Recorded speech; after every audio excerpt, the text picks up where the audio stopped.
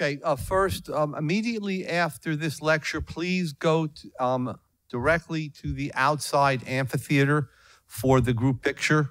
Okay, so um, as soon as it's done, just find your way to the amphitheater. Um, and uh, my second announcement um, is one that I'm, I'm happy to make. Uh, the, the Mises Institute presents the uh, 2024 Gary G. Schlarbaum Award to a promising young scholar for excellence in research and teaching. Um, and it's hereby presented to Matt McCaffrey, which, who is our speaker. Congratulations, Joe.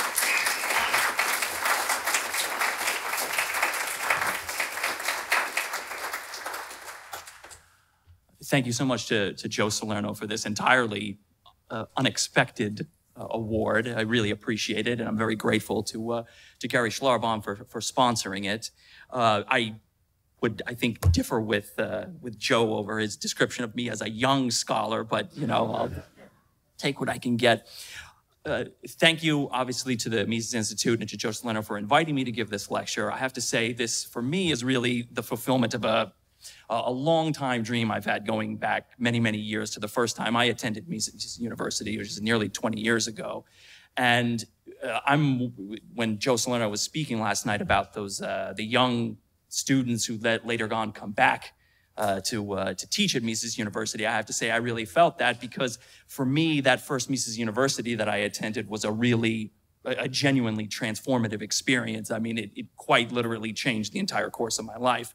And so to be able to come now, uh, to come back now and, speak to you uh, and give one of these uh, introductory uh, plenary lectures is just a, a tremendous privilege. And so I'm very grateful to the Mises Institute for the opportunity. So uh, thank you all for coming. Uh, I know this is the last lecture of the day, and so I'm the, la- the only thing between you and dinner. And I know you just had to listen to Newman talk for an hour, so your attention spans are already already quite low. Um, but I'm really happy to uh, to be able to speak to you this afternoon about uh, entrepreneurship, which is uh, an area of particular interest for me. It's where I do a lot of my teaching and my research. And just to start off, I want to uh, make a point about entrepreneurship and the way that it's perceived in sort of the public mind. And I think if you asked sort of random people in the street to name an entrepreneur, probably they would name somebody like Elon Musk or maybe Jeff Bezos or one of these types of people, you know, billionaires, the richest people in the world, people with the, you know, business people with these big public profiles and so on. And I think this is a you know entrepreneurship has now been kind of a buzzword for a very long time so long that like most buzzwords it's sort of lost its meaning uh, or rather it just means whatever you want it to mean.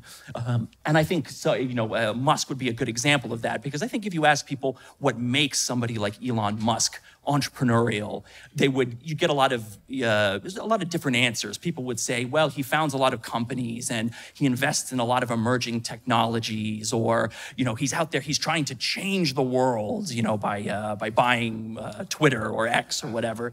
Um, and in a way all of those things are part of what it means to be an entrepreneur. When we talk about what entrepreneurship is from an economic perspective, yes, we do often mean these kinds of things. But as, I, as I'll explain as we go along, all of these things are in a way part of what it means to be an entrepreneur, but they don't capture the big picture uh, or the, the, the true fuller picture of what it means to be an entrepreneur. And that fuller picture, in a way, is actually maybe more profound, but also more mundane in a way than the impression that you get if you look only at these sort of outlier examples, the, the Elon Musks uh, of the world and so on. So it's, it's more profound in the sense that entrepreneurs genuinely do change the world in a sense. They, they play this absolutely crucial role in shaping the market economy, improving living standards, and improving human welfare and so on. So they're absolutely indispensable in that sense. Uh, but entrepreneurship is also more mundane in the sense that, um, again, once you get away from the outliers, in practice, entrepreneurship is very often an unromantic path uh, in life. Um, yes, it can lead to, to fame and fortune, uh, but for many more people, it leads to financial ruin, and you know it can. Uh, take a toll on your mental, mental and physical health and all kinds of things like this. So being an entrepreneur is, is very often a, a rather unromantic uh, line of work to be in. And as we go along, I'm going to explain a little bit more what the Austrians have thought, uh, have said about entrepreneurship and this role it plays, and talk a little bit more um, about both the profound and the mundane aspects of it.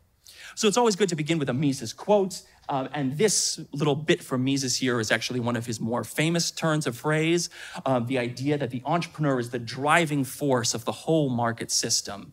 Um, you'll see Austrian economists quote this phrase quite a lot when discussing entrepreneurship.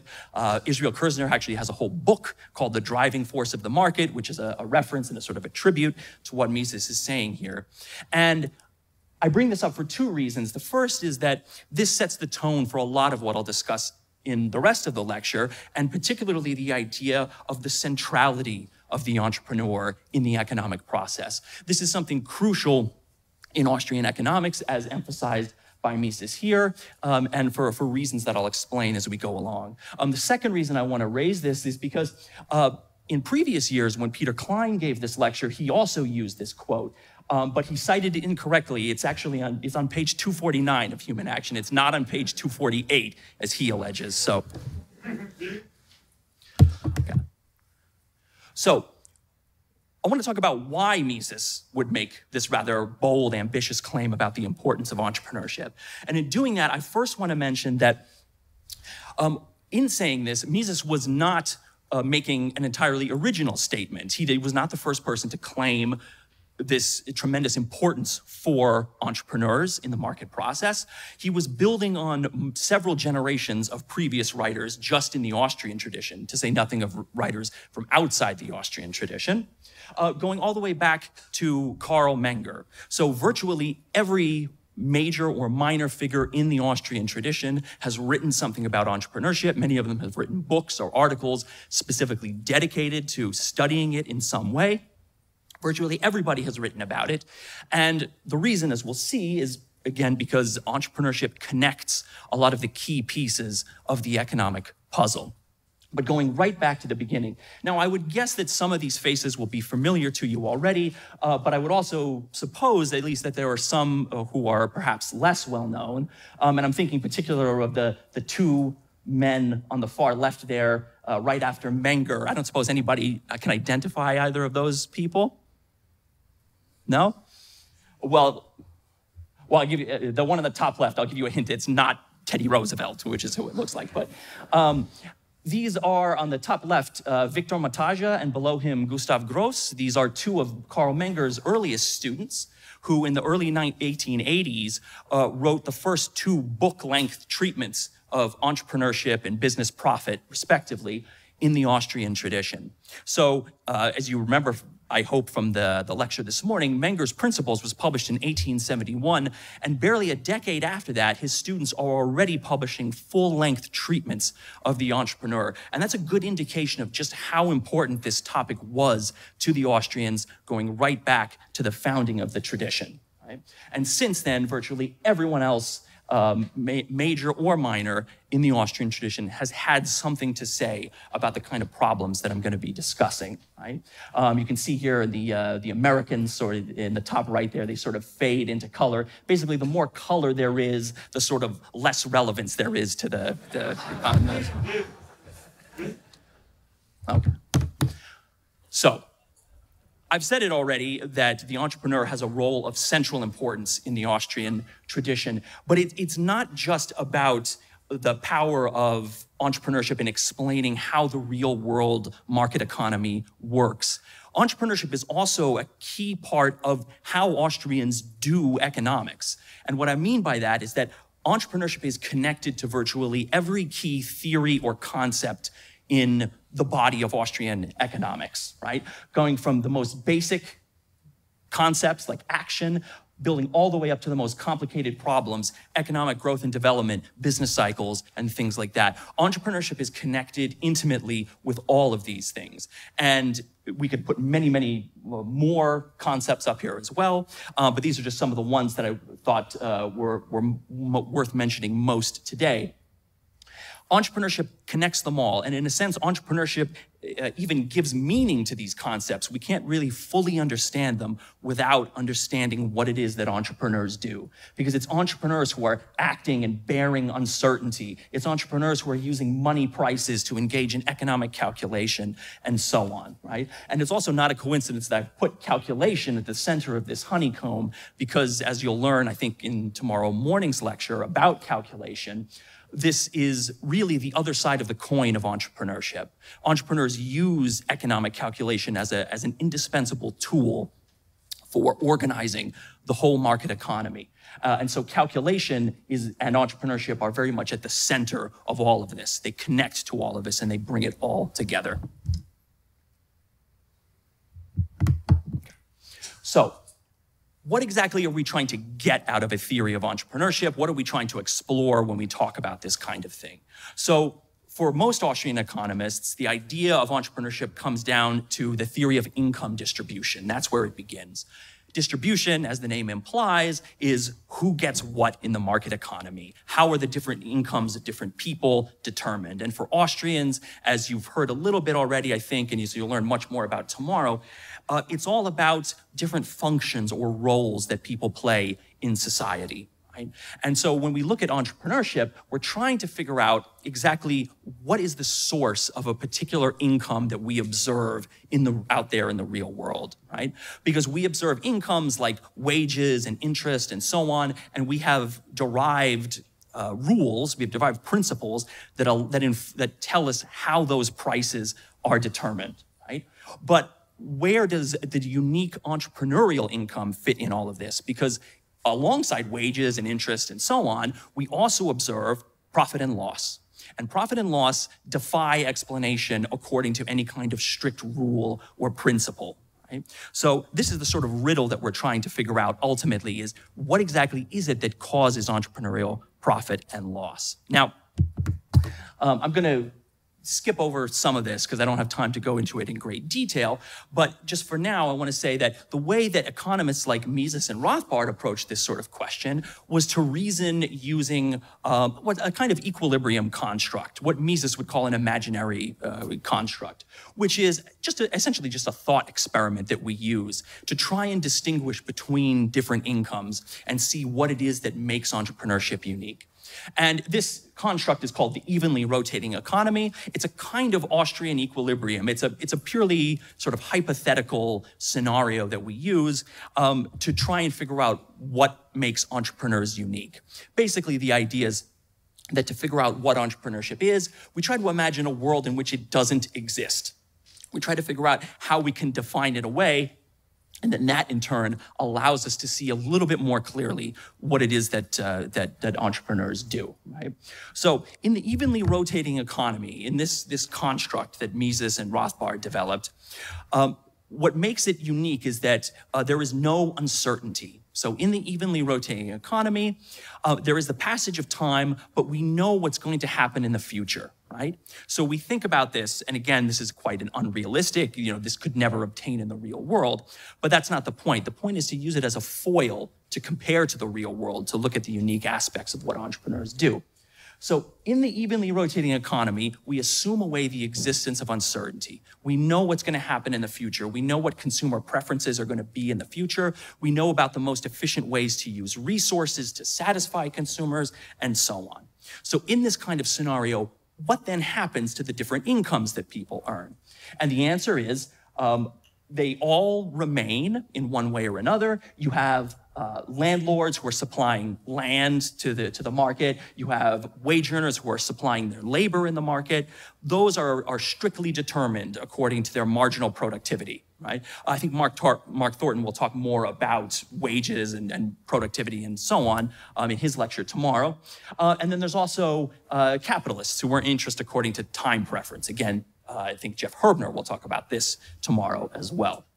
So this is a preview of a lot of what's come. But the point is that in this fictitious economy, there is no room for entrepreneurship and there is no room for profit and loss because all of the different possibility or possible sources of income have already been accounted for.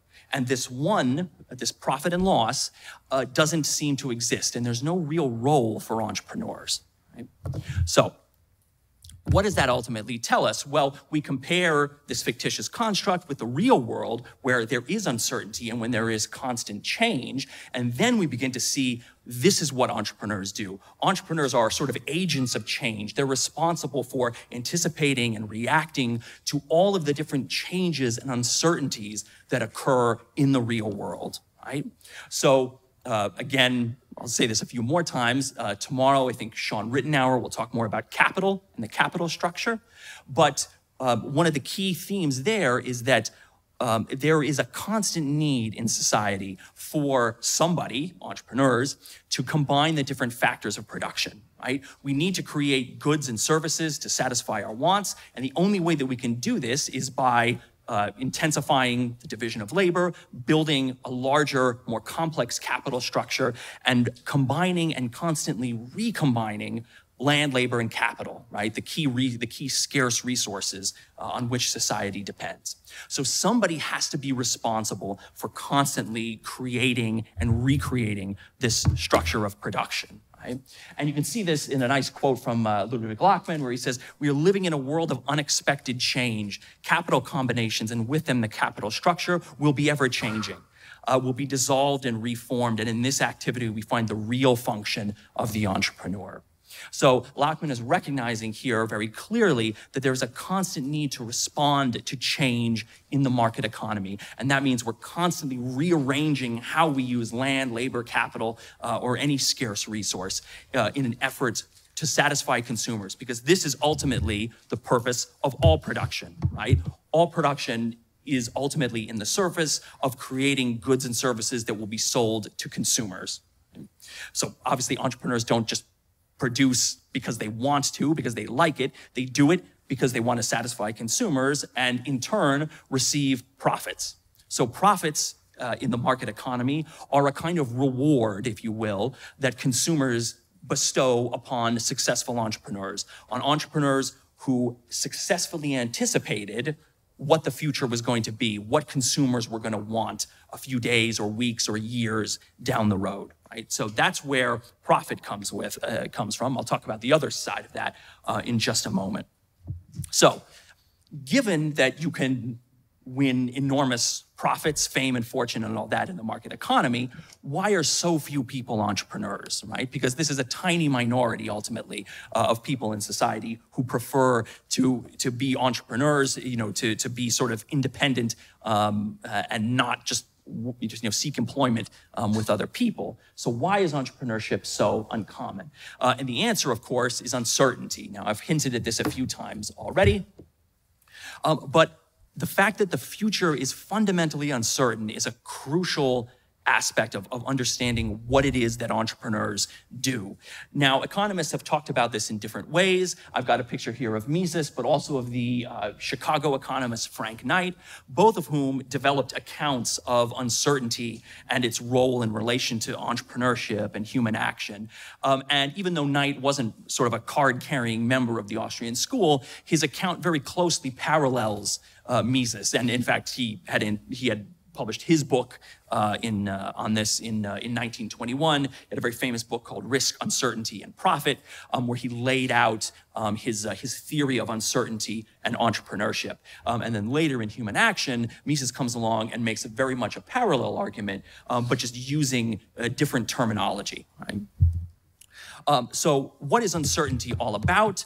So the, the crucial idea is that we never really know what's going to happen in the future. Nevertheless, there are some kinds of events that are more or less easy to predict. And this is what entrepreneurs really need to get right. right? So to understand what uncertainty is, again, it's useful to present it as a kind of a, a foil, right? And in this case, the foil uh, is what we call risk. Now, risk is sometimes confusingly used in discussions of entrepreneurship um, because this distinction hasn't in a way sort of been fully appreciated. But um, from an economic perspective, there's a difference, a crucial difference between what we call risk and what we call genuine uncertainty, or sometimes Knightian uncertainty after Frank Knight, uh, or in Mises's case, what we might call case probability. Right?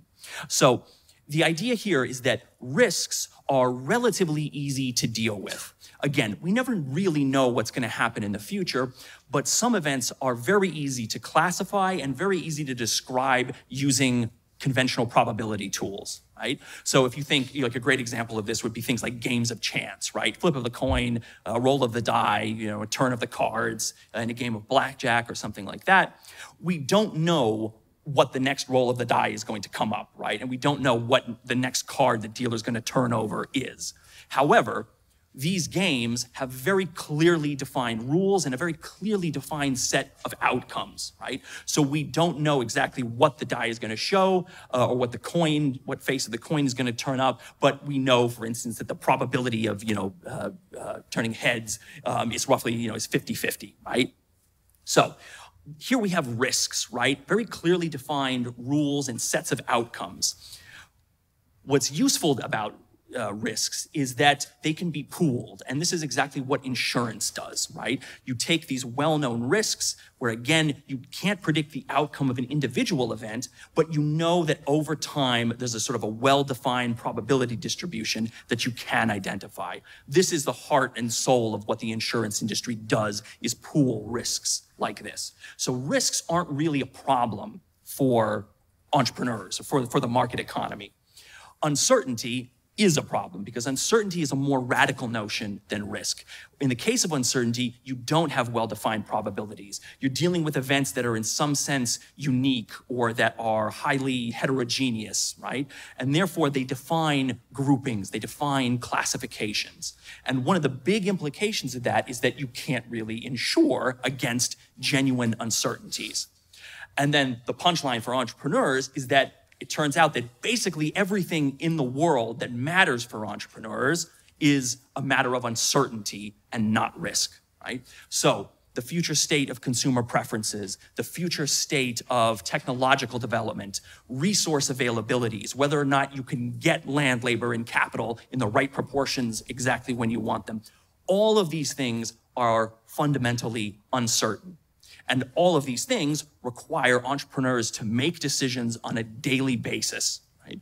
So this is the challenge of entrepreneurship, and this is exactly why so, people, so few people choose to be entrepreneurs, because when you're an entrepreneur, you're really sort of on your own. As I'll explain in a moment, you're really bearing the uncertainty of the future. You have to take responsibility for your own decisions. And for most people, that's just not a very good deal. Most people would prefer the safety and the security of, say, a steady wage over the possibility of, um, you know, of earning enormous fame and fortune. Uh, but also, uh, you know, most people don't want to chance the downside of that, which is what happens when you fail. So this is another great quote from Mises where he talks about how universal uncertainty is and how essentially all action in a way involves a kind of speculation because we're constantly planning and acting in what we could call the present with a view to making ourselves better off at some point in the future. And as Mises points out, there's many a slip twixt cup and lip. So we constantly get this wrong. We make errors ourselves. We lack perfect information about the world. And as I said, the future is just fundamentally unpredictable in so many ways that are relevant for entrepreneurs working in the market economy. Okay. So again, um, what exactly is it that entrepreneurs do? So we can, uh, I'll use the, the term um, that I think is, is most apt, which is judgment right? So when we talk about entrepreneurs making decisions in, an, in the face of an uncertain future, we're talking about the use of judgment. This is a term that's used by Frank Knight uh, and by many, many other economists working in this tradition. Um, recently, people like Peter Klein and Nicolai Foss have um, have really um, developed this sort of strand of thinking in what's what we would call the, the judgment-based approach to entrepreneurship, which is essentially the modern Austrian tradition in entrepreneurship that takes into consideration um, so many of these contributions from all the, the thinkers that I had showed you, uh, showed you earlier. Right? So what judgment is essentially is the ability to make decisions in the face of uncertainty without having reference to a strict rule or guideline that can tell you how to behave. Right? So there is no uh, strict sort of decision function that can guide your action. Again, you're sort of on your own. You have to figure it out by yourself. Right? Now, a crucial part of this is that, in a way, as Mises says, everything is uncertain, and we're all constantly having to sort of confront uncertainty in one way or another. But a vital part of this is that not everybody bears uncertainty in the sense that entrepreneurs do. We say, you know, entrepreneurs bear uncertainty as if they're sort of shouldering a burden um, that other people don't want to carry. So that's what entrepreneurs do that makes them special. And the reason that they bear uncertainty in this way, the reason that they are responsible ultimately uh, for their decisions is because entrepreneurs own and use scarce resources And that's the difference between entrepreneurs and many of us as we sort of act in our everyday lives is that usually we're, you know, as we go about our, our everyday business, we are not devoting our, we're not hazarding our scarce resources um, in a business venture, say. Um, but this is the essence of what it means to be an entrepreneur: is owning resources and and you know submitting them, putting them into production now in the hope uh, of obtaining an uncertain future reward right? And so this is where the other side of the, the, the profit coin comes in, which is the loss side. And this, again, is what uncertainty bearing is all about. It's about the fact that if you own assets, if you own capital, if you own land, or you, are borrowing labor, whatever it is, you're putting these things into the market economy in the face of uncertainty, you can always, you're always at risk of losing everything. This is why most people prefer not to be entrepreneurs. And this is also, as I say, it's the, it's the, the flip side of profit, right? Which is loss, right? That's what entrepreneurs earn that most other actors in the market economy don't earn, right? Most people don't earn profits or losses, right? Um, but entrepreneurs are, are uh, uniquely about this. And in fact, Mises, in one of his essays, says that if you want to figure out who an entrepreneur is, you find the person who suffers the, who bears the burden, who suffers the financial losses uh, when things go wrong. That's that's how you identify an entrepreneur right? So this is if profits are the reward side, losses are the, the sort of punishment side. Uh, you could say that consumers are punishing uh, entrepreneurs for making bad decisions, for getting it wrong, for incorrectly anticipating what consumers would want in terms of goods and services, right? So this is the this is as I say the the, the downside of this. Now, I just want to mention very quickly a few sort of implications of this because uh, not just Mises, but other Austrians uh, have developed a, a, variety of applications of this kind of thinking. Um, the first one, I think Per Bylund is going to talk about this a little bit more in his lecture on firms. Um, but uh, Mises makes a, a useful distinction between entrepreneurs and managers in this sense. And the idea here is that, again, because entrepreneurs own the assets, they own, say, the firm or the corporation or what have you, they bear that ultimate responsibility. Um, and also that gives them the ability to delegate power to manager, managers, to delegate decision authority. So this is a useful way of understanding how modern firms and corporations come to be. It's a useful way of understanding how managerial hierarchies work by thinking in terms of the ultimate authority that entrepreneurs have that nobody else does. And that authority comes from their ownership of the, of the firm's assets. Okay. Uh, another interesting one that, that Mises develops is a distinction between different types of socialism. So in the calculation lecture tomorrow, you'll hear, hear about how socialist economies essentially abolish the entrepreneurial function. Uh, but crucially, they do that in different ways. So you have socialism of the Russian pattern, by which Mises means like Soviet socialism, where you completely, where you formally abolish the market economy in a sense. You, you uh, abolish private ownership of the means of production, and thereby the entrepreneurial function essentially becomes sort of illegal, right? It's replaced by some kind of central planning. Uh, but Mises compares that to what he calls socialism of the German pattern, by which he basically means Nazism. And in that kind of a system, um, on paper at least, the entrepreneurial function is left intact on paper, you're still allowed to be a private business owner and own your, your land and your labor and your capital and use them as you please. But in actual fact, you're actually, uh, you become a, basically a hired manager of the state, right? So on paper, you're still the property owner and you can still do as you please as an entrepreneur. But in fact, you're, uh, you're taking orders from, you know, the Nazi authorities or whoever's, uh, whoever's on top right? Um, so again, it's an interesting way to think about the difference between an entrepreneur and a manager who's ultimately giving the orders. Um, and then lastly, I'll mention very quickly the idea of ownership competence, which is a notion that's been developed by Peter Klein and Nicolai Foss and some others, um, which is another way of talking about entrepreneurial judgment and about how entrepreneurs use their assets um, and how they, uh, the skill with which they own assets. And one great application of this is in the public sector, um, because it's a great way of highlighting how once you talk about the public sector and government and so on, um, the entrepreneurial function, again, it sort of starts to disappear or degrade, and it becomes a lot easier to see how, uh, you know, people acting within government or, you know, are themselves using scarce resources are a lot less likely to be skilled uh, at doing that um, and doing that, especially compared to, to market entrepreneurs. Okay. okay, so we talk about judgment a little bit, exactly what goes into judgment, what kinds of decisions are we talking about. And here again, it's great to go back to the source, to Menger. If you've never read Menger's principles, I strongly encourage you to do to. I strongly encourage you to, uh, because it's a terrific book. It's, I mean, even today, it feels very fresh. It's packed with all kinds of insights, including on things like entrepreneurship. Uh, and Menger, in his principles, develops a kind of typology uh, of different uh, different varieties of entrepreneurial action. And in a way, these are just ex different expressions of what we mean by entrepreneurial judgment. So things like obtaining information, uh, reading the external environment, as we would say, um, right all the way on down through, you know, organizing production, producing goods and services, and then supervising the business as it hopefully succeeds and moves into the future. All of these are essentially different types of judgments that entrepreneurs make. And all of them, as you can probably see, are fundamentally uncertain. Right? Even the basic stuff like finding out information about your competitors and about the industry you're hoping to enter and so on. You can make all kinds of uh, errors about this. Um, and a lot of times entrepreneurs in the real world find out that if anything, they end up with sort of too much information, you know, a data overload. So they have to make all kinds of judgments of relevance about what data really matters, you know, what do I really need to care about when it comes to my competitors and things like this.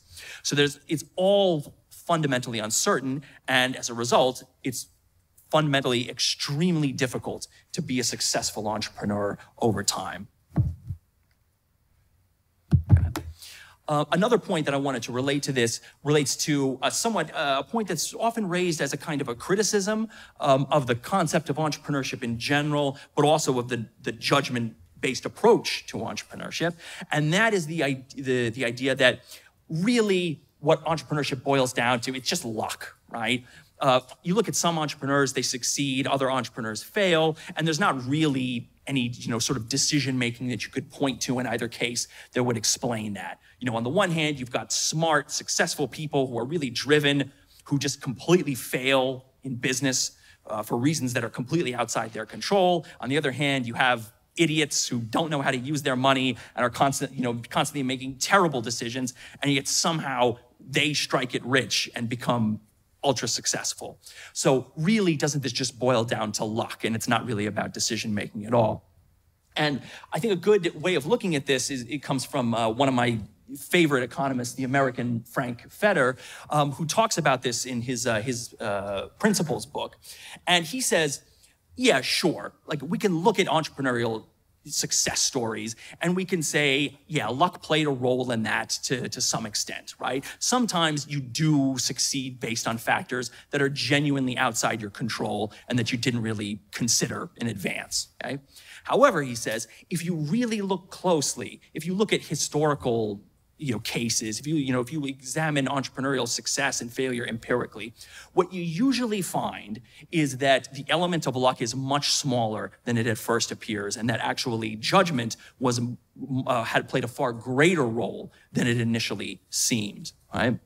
And uh, he gives he gives a good example of this, which is uh, sort of like uh, he gives the example of the the gold rush in America in the 19th century, uh, where he says yeah, sure. You look at one guy who, you know, works for a day on his claim and strikes it rich and finds gold. Uh, and you look at somebody else who works his claim for years and years and years and loses everything and never finds, you know, uh, never finds a flake of, of gold.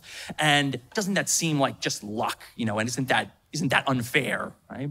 Um, but Fetter says no, actually, because if you sort of zoom out and you look at the larger pattern of decision making, you will start to notice that the people who tend to be successful, especially repeatedly and over time, make different judgments than the people who, who tend to fail, right? And in the example, his gold rush example, he says, look, um, you know, the, the person who strikes it rich, yeah, it might seem like luck that you find gold on that, you know, on that one specific day and on that one specific hill.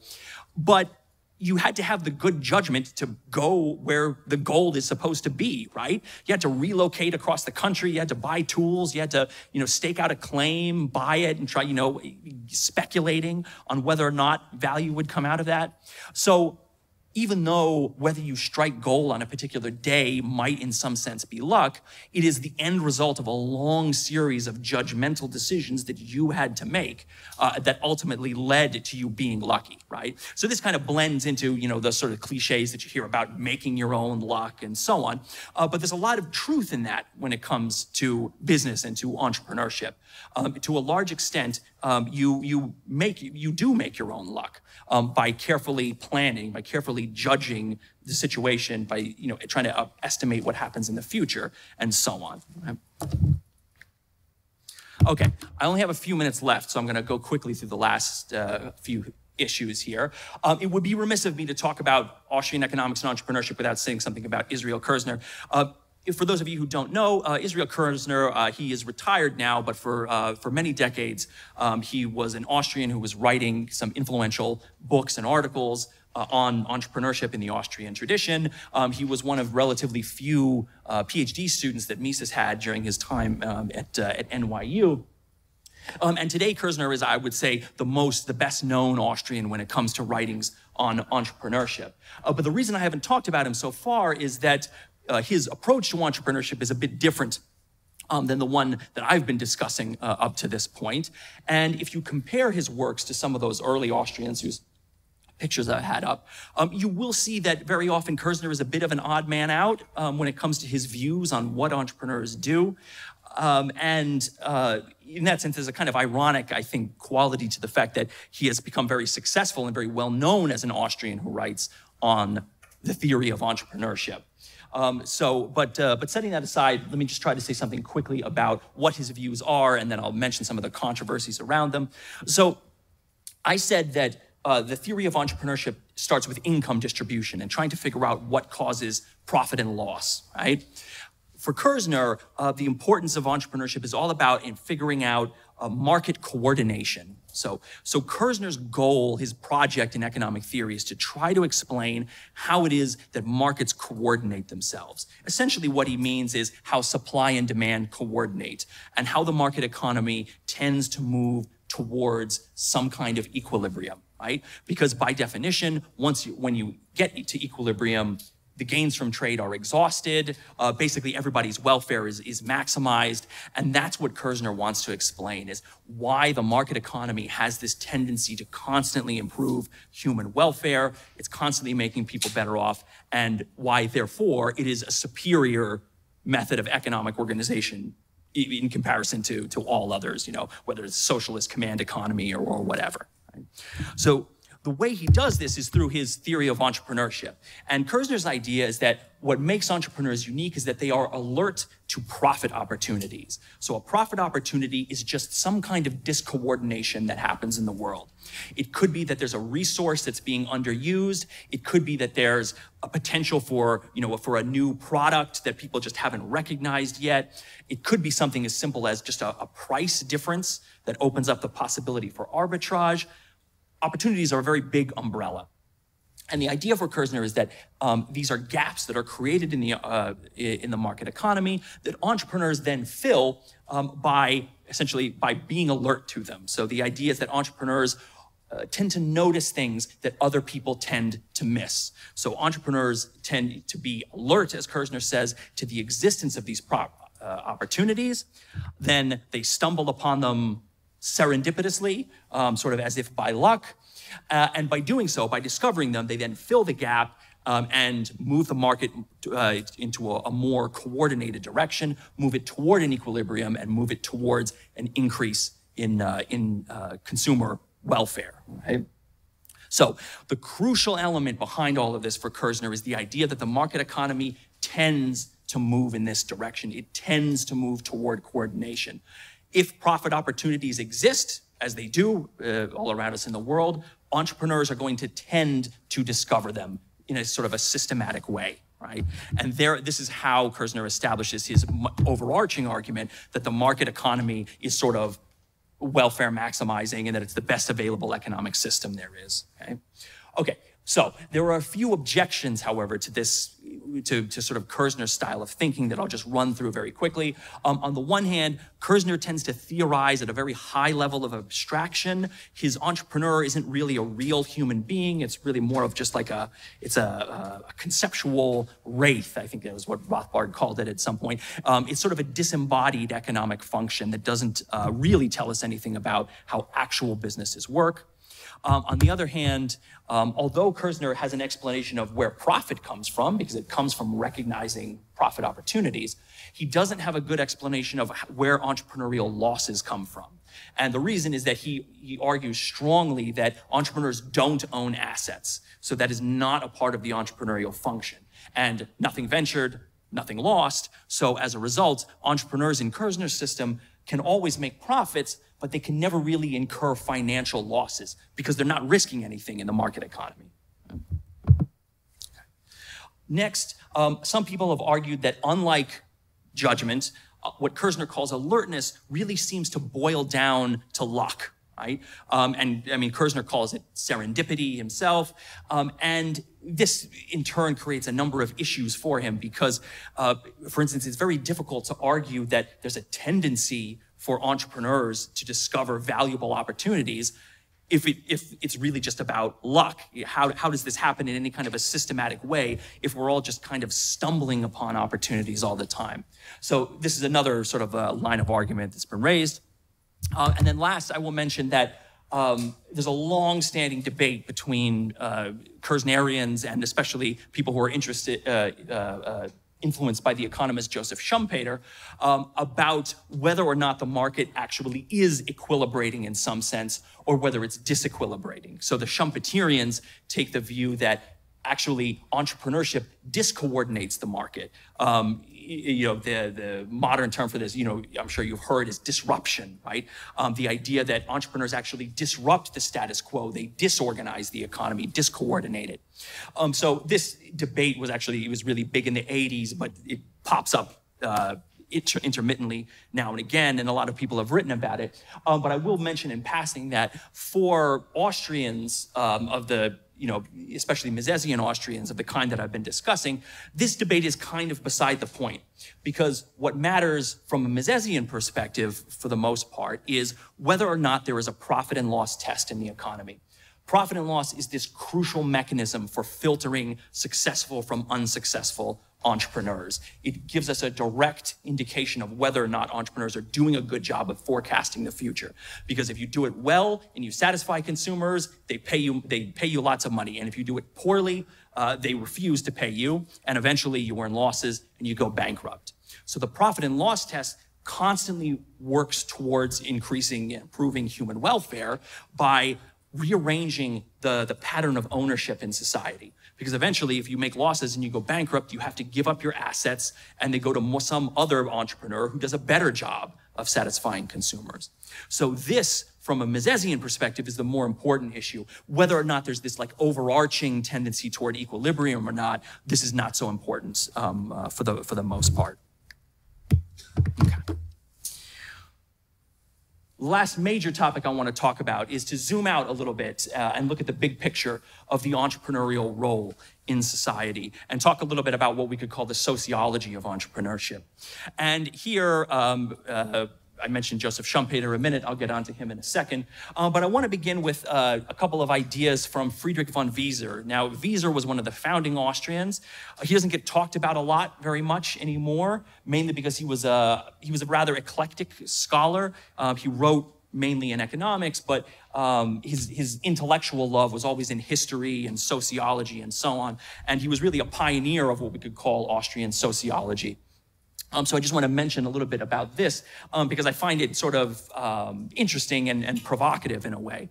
So Wieser takes uh, very much the romantic view uh, of entrepreneurship that I mentioned at the beginning. So in a way, we come full circle back to people like the Elon Musks of the world, um, because Wieser described entrepreneurs as the, the bold technical innovators, the, the organizers with a keen knowledge of human nature, the far-sighted bankers, and the reckless speculators and the world-conquering directors of the trusts, right? So a very uh, uh, dramatic, if not melodramatic, way of, of describing what it is that entrepreneurs do. But Wieser built this, um, actually, I'll come to that in a second. Wieser, Wieser built this into a whole sort of sociology of the entrepreneur. And in his last book, which was published in 1926 before he died, called The Law of Power, he uh, explores in great detail the social significance of entrepreneurship in society. And he argued that basically all societies need some kind of strong, charismatic, persuasive leadership uh, to sort of run them or organize them. And in the modern industrial society, that, uh, that agency is capitalist entrepreneurs. Right? So Wieser assigned them a crucial social role um, in uh, basically organizing uh, all of society. And they do this by the use of persuasion. Usually it's persuasion to get consumers to buy whatever they're selling.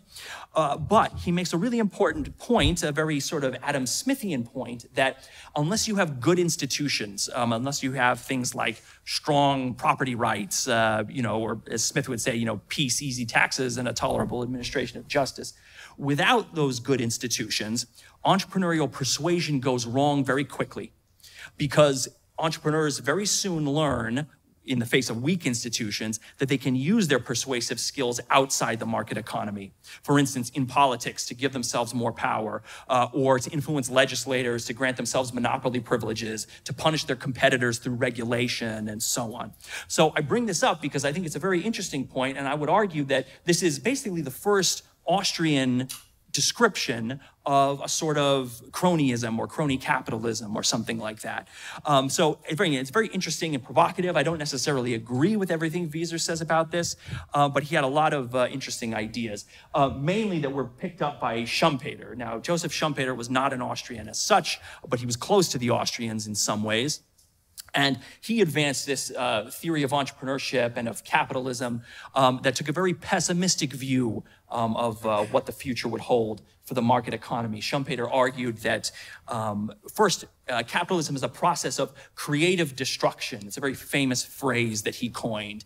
And the idea is that in a capitalist market economy, you have a constant sort of cycle of creation and destruction as new businesses and new industries and new innovations uh, overpower and destroy the old ones, right? A constant process of sort of renewal and a constant process of getting rid of the old and bad and obsolete and replacing it with the new and the good and the uh, the exciting, right? So I'm sure you've heard many examples of this kind already, right? You know, when the you know the the personal computer completely destroyed the typewriter industry, right? Digital technology continually destroys analog technologies, and so on and so forth, right? There's a million of these, right? Jonathan Newman destroys Patrick Newman, and so on.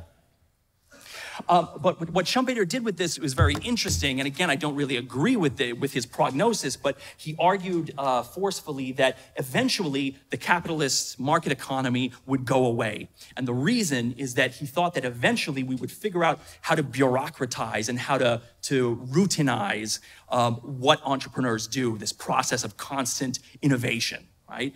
And one of the reasons he thought this is because he didn't really take account of uncertainty in the way um, that many of the Austrians did. So Schumpeter prophesied that eventually capitalism would be destroyed and replaced with a sort of socialist central planning system because eventually we would make entrepreneurs and the entrepreneurial function completely obsolete. So I don't really agree with his prognosis, but I mention it because it's an important argument and it's one that's come back again and again. And most recently, it's come back in the discussions about things like AI. People want to know, can we just replace entrepreneurship with artificial intelligence? Um, can we, you know, economize on our resources and avoid mistakes by using large language models to, you know, sift through the data and make our decisions for us? And if you've been listening to anything that I've said in the past few minutes, uh, you'll know that Austrians, or you could guess that Austrians are very skeptical about this because what we've seen so far is that uncertainty is a lot more fundamental um, than, than a lot of the proponents of AI really give it credit for. And we don't really have any good reason to believe that things like large language models are actually capable of replacing the unique function that entrepreneurs perform in the market economy. Do I have any time left? I'm probably over time. So um, later in the week, I'll talk uh, in a seminar with my wife about different varieties of entrepreneurship in and around the market economy. So if you're interested in hearing more about this, please come along to this seminar. But with not, I'm sorry for with that, I'm sorry for going over time. Thank you so much for your attention.